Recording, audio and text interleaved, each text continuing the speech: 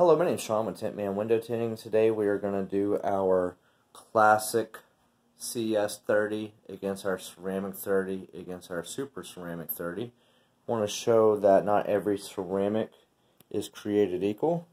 Let's just start with the basics. We're going to put a heat sheet right here, right where that line is, and then we're going to load up our samples. I have two different heat sheets just so they have time to cool down so our videos don't get too long. So the question is, how long before this heat sheet changes color? Because at the end of the day, basically that heat lamp is like the sun, this is like your skin, and this is what's protecting your skin. So here's the classic dyed film. One, two, okay, got to the count of two, and the hotter that gets, the more colors it's going to change. Now let's do Start trying to line this up just right. Um, now let's do ceramic 30. This ceramic 30 projects up to 88% of the infrared heat. So the question is, is there a big difference between 88 and 98? Well, we're about to find out. Here is a ceramic film that rejects up to 88% of the infrared heat. A lot of our competitors only rejects up to 68%, but this one's 88. Let's see what happens. One, two, three, four, five, six, seven. So between six and seven. So as you can see, that did a whole lot better than the ceramic. I mean, excuse me, than the dyed. So now let's do the XR Plus Super Ceramic that rejects up to 98% of the infrared heat. Let me just make sure I got the cooler heat sheet here. That is 75. 77. Alright, let's see how long for this changes color.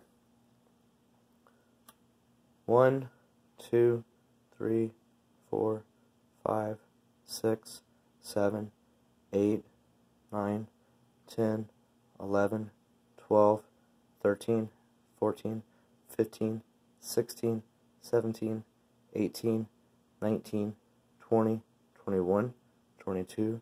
23, 24, 25, 26, 27, 28, 29, 30, 31, 32, 33, 34, 35, 36, 37, 38, 39, 40, 41, 42, 43, 44, 45, 46, 47, 48, 49, 50, 51, 52, 53, 54, 55, 56, 57, 58, 59, 60.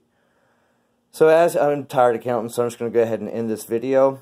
So as you see, not every ceramic is created equal. So when somebody gives you a price of regular film versus a ceramic film, well, what kind of ceramic is it?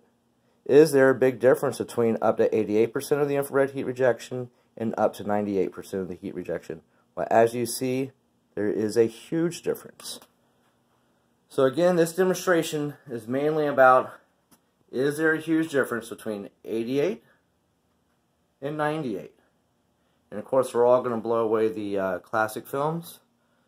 You can learn more about these different films as well as our residential and commercial films at tintmanfl.com.